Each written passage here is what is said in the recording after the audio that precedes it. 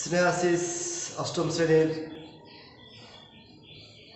শিক্ষার্থীবৃন্দ, আশা করি তোমরা এই করোনাকালীন সময়ে নিরাপদে আছো, স্বাস্থ্যবিধি মেনে বাসায় অবস্থান করছ এবং তোমাদের পড়াশোনার কাজে ব্যস্ত আছো। সুপার শিক্ষার্থীবৃন্দ, আজকে আমি আবারও তোমাদের সামনে অনলাইন ক্লাসে অষ্টম শ্রেণির গণিতের একটি বিষয়, অষ্টম শ্রেণির গণিত দশম অধ্যায়ের বৃত্ত সম্পর্কিত উপপাদ্য নিয়ে আমি তোমাদের সামনে হাজির হয়েছি। এই মুহূর্তে যারা এই ভিডিওটি দেখছ এবং শুনছো, তারা অবশ্যই তোমাদের যে অষ্টম শ্রেণির গণিতের বই এবং খাতা কলম নিয়ে বসে যাও। এবং ভিডিওটি মনোযোগ সহকারে পর্যবেক্ষণ করো। এবং সেই সাথে যারা বাংলাদেশ বাংলাদেশের যে যে প্রান্ত থেকে আমার এই ভিডিওটি দেখছেন এবং পর্যবেক্ষণ করছেন এবং শুনছেন, তাদেরকে আমাদের Mushtipuja Issupal school and college online স্কুলের পক্ষ থেকে শুভেচ্ছা এবং সালাম জানিয়ে আজকের পাঠ উপস্থাপন করছি। আমি মোহাম্মদ নুরুল ইসলাম, সহকারী শিক্ষক। Mushtipuja Issupal school and college Bholahat Chapainawabganj. সুপ্রিয় শিক্ষার্থীবৃন্দ, আজকে আমি যে বিষয়টি নিয়ে তোমাদের সাথে আলাপ করতে চাই, সেটি হচ্ছে এই অষ্টম শ্রেণির দশম অধ্যায়ের বৃত্ত নিয়ে আলাপ করতে চাই। সুপ্রিয় শিক্ষার্থীবৃন্দ, আমরা যদি বাইরের পরিবেশে তাকাই বা আমরা যে দৈনন্দিন জীবনে যা ব্যবহার করে বিভিন্ন রকমের আমরা জিনিস দেখতে পাই। কোনোটা গোলাকার, কোনোটা আয়তাকার, কোনোটা কোনোটা ষড়ভুজ আকৃতির, কোনোটা ত্রিভুজ ত্রিভুজ আকৃতির, বিভিন্ন আকৃতির আমরা বস্তুর সাথে আমরা কিন্তু কী করি? চলাফেরা করি বা দেখতে পাই। সুপ্রিয় শিক্ষার্থীবৃন্দ, তো আজকে যে বিষয়টি নিয়ে আমি তোমাদের সাথে আলাপ করতে চাই, সেটি হচ্ছে বৃত্ত তোমরা দেখেছ নিশ্চয় যে তোমাদের যে বাসায় যে অল ঘড়ি রয়েছে, দেওয়াল ঘড়ি রয়েছে, এই দেওয়াল ঘড়িতে একটা কয়েকটা কাঁটা থাকে। সেকেন্ডের কাঁটা, ঘণ্টার কাঁটা, মিনিটের কাঁটা। তো শিব সুপ্রিয় শিক্ষার্থীবৃন্দ, বৃন্দ, তোমরা কি লক্ষ্য করেছ যে এই যে কাঁটাগুলো যে ঘুরে, তারা কি করে একটা নির্দিষ্ট বিন্দুকে কিন্তু কেন্দ্র করে আবর্তন করে, আবর্তিত হয়? এই কাঁটাগুলো একটা নির্দিষ্ট বিন্দুকে কেন্দ্র করে কি হয়? আবর্তিত হয়। বিশেষ করে আমরা যদি সেকেন্ডের কাঁটাটা খেয়াল করি, তাহলে দেখব যে সেটা কি হয়? যে একটা বিন্দু থেকে শুরু হয়ে কি হয়? আবার এক পাক ঘুরে আবার ওই বিন্দুতে সে মিলিত হয়। এই যে একটা যে গোলাকার একটা চক্র, এক পাক দিয়ে যে একটা চিত্র অঙ্কিত হয়, সেটাকে আমরা বৃত্ত বলি। তাহলে বৃত্তের সংজ্ঞাটা আমরা এভাবে দিতে পারি, যখন কোনো একটা বিন্দুকে কেন্দ্র করে হ্যাঁ একবার প্রদক্ষিণ করলে যে ফিগার বা চিত্র অঙ্কিত হয়, সেটাকে আমরা বলব বৃত্ত। সুপ্রিয় শিক্ষার্থীবৃন্দ, দেখো একটা তোমাদের বোর্ডে একটা বৃত্তের ছবি দেওয়া হয় এটা বৃত্ত না, একটা বৃত্ত। বৃত্তের কতগুলো পার্টস থাকে বা অংশ থাকে, সেগুলো সম্পর্কে তোমাদের আগে আলাপ করা হয়েছে। যেমন থাকে বৃত্তের জ্যা থাকে, তোমার কেন্দ্র থাকে, তোমার ব্যাসার্ধ থাকে, ব্যাস থাকে বৃত্ত চাপ থাকে, এই জিনিসগুলো থাকে। তোমরা এগুলো সম্পর্কে জানো বা আমি ক্লাসে এগুলো আলাপ অবশ্যই করেছি। আজকে যে বিষয়টি তোমাদের সামনে আলাপ আলাপ করতে চাই, সেটি হচ্ছে যে বৃত্ত সম্পর্কিত একটি উপপাদ্যের প্রমাণ আমরা আজকে করব। প্রিয় শিক্ষার্থীবৃন্দ, তোমরা যদি বোর্ডে খেয়াল করো একটু এখানে লেখা আছে যে বৃত্তের কেন্দ্র ও ব্যাস ভিন্ন কোনো জ্যায়ের মধ্যবিন্দুর সংযোজক রেখাংশ ওই জ্যায়ের উপর লম্ব। কি বলা হয়েছে উপপাদ্যে? বলা হয়েছে যে বৃত্তের কেন্দ্র ও ব্যাস ভিন্ন কোনো জ্যায়ের মধ্যবিন্দুর সংযোজক রেখাংশ ওই জ্যায়ের উপর লম্ব। এটা আমরা প্রমাণ করব।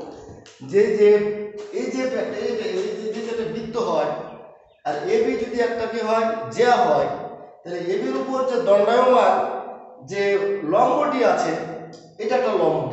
প্রমাণ করব যে এ বি জ্যায়ের উপর ও এম একটি লম্ব। এটা আমাদের প্রমাণ করে দেখাতে হবে। শিক্ষার্থীবৃন্দ, একটু মনোযোগ সহকারে দেখো। বিশেষ নির্বাচনে যদি আমি বলি যে মনে করি ও কেন্দ্র বিশিষ্ট বৃত্তে এ বি ব্যাস নয়, এমন একটি জ্যা যা এম ইহার মধ্যবিন্দু, যা এম এ বি এর মধ্যবিন্দু। এবং ও এম একটি লম্ব ও এম একটি লম্ব। প্রমাণ করতে হবে যে এ বি জ্যায়ের উপর ও এম একটি লম্ব। সুপ্রিয় শিক্ষার্থীবৃন্দ, তাহলে আমরা ও এম যোগ করি। অঙ্কন যদি করতে চাই তাহলে ও এ এবং ও বি যোগ করি। কি করব? অঙ্কনের ক্ষেত্রে ও এ এবং এ বি যোগ করি। বিশেষ নির্বাচনটা আমি আবার বলছি, মনে করি ও কেন্দ্র বিশিষ্ট একটি বৃত্তে এ বি ব্যাস নয়, এমন একটি যে এবং এম ইহার মধ্যবিন্দু। ও এম যোগ করি। প্রমাণ করতে হবে যে এ বি জ্যায়ের উপর ও এম একটি লম্ব কি প্রমাণ করব? এ বি জ্যায়ের উপর ও এম একটি লম্ব। অঙ্কন যদি করতে যাই, তাহলে কি করব আমরা? ও এ বাহু এবং ওবি বাহু অবিবাহুটা যোগ করে দেব। সুপ্রিয় শিক্ষার্থীবৃন্দ, আমরা যদি প্রমাণ করতে চাই, প্রমাণ। দেখো, আমরা যখন ও এ এবং অভিবাহকে যোগ করেছি তখন নিশ্চয় এখানে দুটো ত্রিভুজ অঙ্কিত হয়েছে। কটা ত্রিভুজ অঙ্কিত হয়েছে? দুইটা ত্রিভুজ। একটা হচ্ছে ও এ এম ত্রিভুজ, আর একটা হচ্ছে ও বি এম ত্রিভুজ। দুইটা ত্রিভুজ অঙ্কিত হয়েছে। আমরা এখন প্রমাণ করে দেখাবো যে এ বি জয়ের উপর ও এর লম্ব। সুপ্রিয় শিক্ষার্থীবৃন্দ, তাহলে ও এ এম ত্রিভুজ এবং ও বি এম ত্রিভুজে আমরা লিখতে পারি এম সমান বি এম। কেন লিখতে পারি?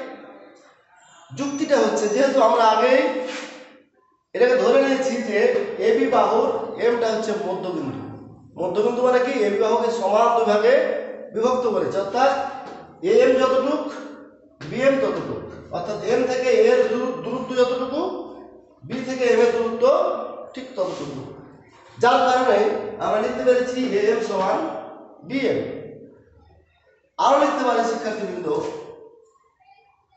ও এ সমান ও বি কেন লিখতে পারি?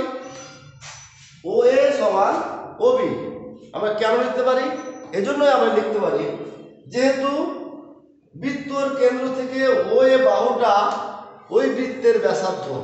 তোমরা জানো যে একই বৃত্তের ব্যাসার্ধ, একই বৃত্তের ভিন্ন ভিন্ন ব্যাসার্ধগুলো কি হয়? সমান হয়। তাহলে যেহেতু আমরা যদি ধরে নিই যে ও একটা ব্যাসার্ধ এবং ও ওবি একটা ব্যাসার্ধ, সেহেতু ও এ এবং ওবিটা কি হয়? সমান হয়। তারপরে আমরা লিখতে পারি ও এম সমান ও এম সমান ও এম ও এম সমান ও এম তাহলে ও এমটা কি? একটা সাধারণ বাহু। ও এমটা হচ্ছে একটা সাধারণ বাহু।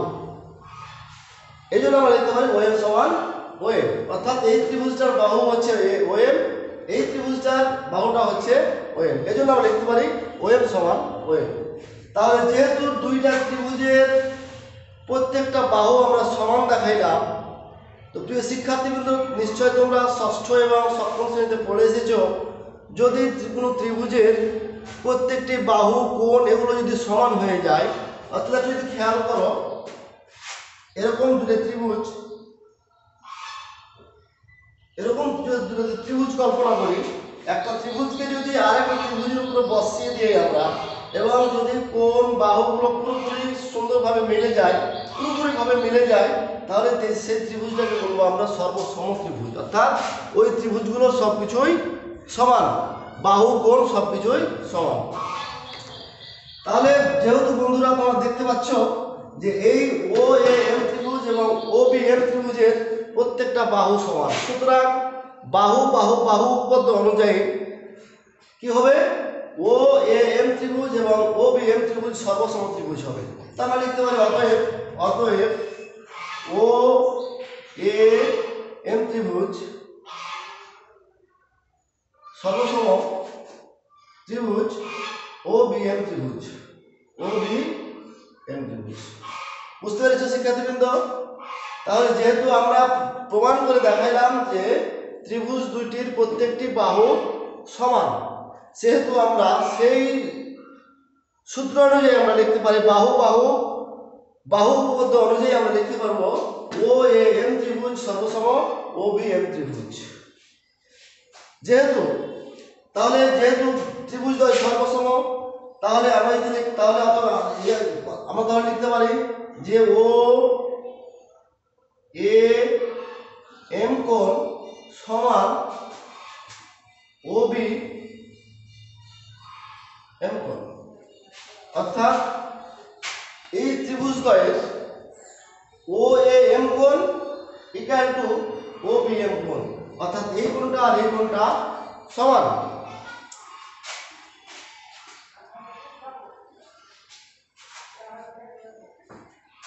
আমি এটা দেখাই শিক্ষার্থী বন্ধু। আমরা দেখাতে যাচ্ছি যে, তাহলে লিখতে পারি আমরা ও এম এ কোণ সমান সমান ও বি এম কোণ। O B O M B কোণ একটু লক্ষ্য করো লক্ষ্য করো তাহলে যেহেতু ত্রিভুজ দ্বয় সর্বসম ত্রিভুজ সেহেতু আমি লিখতে পারব যে ও এম বি কোণ অর্থাৎ এই কোণটা আর ও এম বি কোণ এই কোণটা সমান বা এক সমকোণ এই কোণটাকে কি বলা হয় বন্ধুরা জানো এই কোণটা হচ্ছে একটা রৈখিক যুগল কোণ এই কোণটার নাম হচ্ছে রৈখিক যুগল কোণ তাহলে ও এম এ কোণ এবং ও বি এম কোণ কোণ দ্বয় কি রৈখিক যুগল কোন। রৈখিক যুগল কোন কাকে বলা হয়?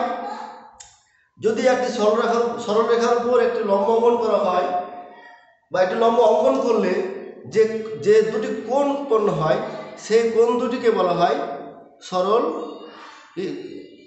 সরল রৈখিক যুগল কোণ। সে কোন কোণটাকে বলা হয়?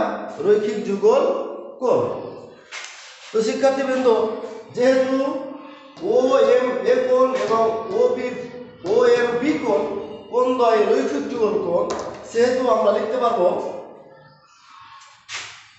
ও এম সেহেতু আমরা লিখতে পারি কি? ও এম এ কোণ ও এম এ কোণ সমান ও এম বি কোণ সমান লিখতে পারব এক সমকোণ বা নব্বই ডিগ্রি। এক সমকোণ বা নাইনটি ডিগ্রি যেহেতু এটা কি এক সমকোণ, তাহলে তোমরা জানো যে যদি লম্ব অঙ্কিত হয়, লম্ব অঙ্কনের ফলে যে কোণ দ্বয় তৈরি হয়, সেই কোণ দ্বয়ের মান হয় নব্বই ডিগ্রি বা এক সমকোণ। তাহলে শিক্ষার্থীবৃন্দ, তাহলে আমরা অবশ্যই লিখতে পারব লিখতে পারব যে ও এম লম্ব এবি এটা আমরা প্রমাণ করতে চাচ্ছিলাম যে এবি বাহুর উপর ও একটা লম্ব, এটা আমরা প্রমাণ করতে চাচ্ছিলাম। তখন বের করলাম ও এম লম্ব এবি আমি আবার বলি, প্রিয় শিক্ষার্থীবৃন্দ, উপপাদ্যটি ছিল যে বৃত্তের কেন্দ্র ও ব্যাসভিন্ন কোনো জ্যায়ের মধ্যবিন্দু সংযোজক রেখাংশ ওই জ্যায়ের উপর লম্ব। বিশেষ নির্বাচন আমরা এভাবে বলতে পারি। মনে করি ও কেন্দ্র বিশিষ্ট বৃত্তে এ বি ব্যাস নয় এমন একটি জ্যা যা এম ইহার মধ্যবিন্দু। এম ইহার মধ্যবিন্দু। ও এম যোগ করে। ও এম যোগ করে। প্রমাণ করতে হবে যে, প্রমাণ করতে হবে যে, এ বি জ্যায়ের উপর ও এম লম্ব। কি প্রমাণ করব? এ বি জ্যায়ের উপর ও এর লম্ব। আমরা যদি অঙ্কন করতে চাই, তাহলে ও এ এবং ও বি যোগ করব। এবার প্রমাণে চলে আসব যে যেহেতু ও যে এ এম সমান বি এম লিখতে পারি। কেন লিখতে পারি? যেহেতু এ বি এর মধ্যবিন্দু হচ্ছে এম এ বি এর মধ্যবিন্দু হচ্ছে এম এজন্য আমি লিখতে পাচ্ছি যে M equal to B M O A সমান ওবি ও এ সমান ওবি এটা কেন লিখলাম? এর যুক্তিটা হচ্ছে যে আমরা জানি যে একটি বৃত্তের প্রত্যেকটা ব্যাসার্ধই কি হয়? সমান হয়। একটা বৃত্তের অসংখ্য ব্যাসার্ধ অঙ্কন করা যায়, তাহলে প্রত্যেকটা ব্যাসার্ধই কিন্তু কি হয়? সমান হয়ে যায়। আমরা যদি এই কেন্দ্র থেকে আরও আরও যে অঙ্কন করি না ব্যাসার্ধ অঙ্কন করি আরও অঙ্কন করি, আরও অঙ্কন করি, তাহলে প্রত্যেকটা কি হয়? সমান হয়। প্রত্যেকটা ব্যাসার্ধই কি হয়? সমান হয়। সেই অনুযায়ী আমরা এখানে লিখেছি যে ও এ সমান ওবি ও এ সমান ওবি যেহেতু উভয়ই কি হয়? একটা একই বৃত্ত- বৃত্তের ব্যাসার্ধ। এই জন্য লিখেছি ও এ সমান ওবি এবং ও এম সমান ও এম। যেহেতু এটা কি সাধারণ বাহু? এটা হচ্ছে একটা সাধারণ বাহু। দুটো ত্রিভুজের ওয়েমটা হচ্ছে সাধারণ বাহু। সেহেতু ওই সাধারণ বাহুটা কি হয়? সমান হয়। ও এম সমান ওয়েম সমান হয়। যেহেতু আমরা এই ত্রিভুজদ্বয়ের প্রত্যেকটা বাহুই আমরা কি পেলাম? সমান সমান পেলাম।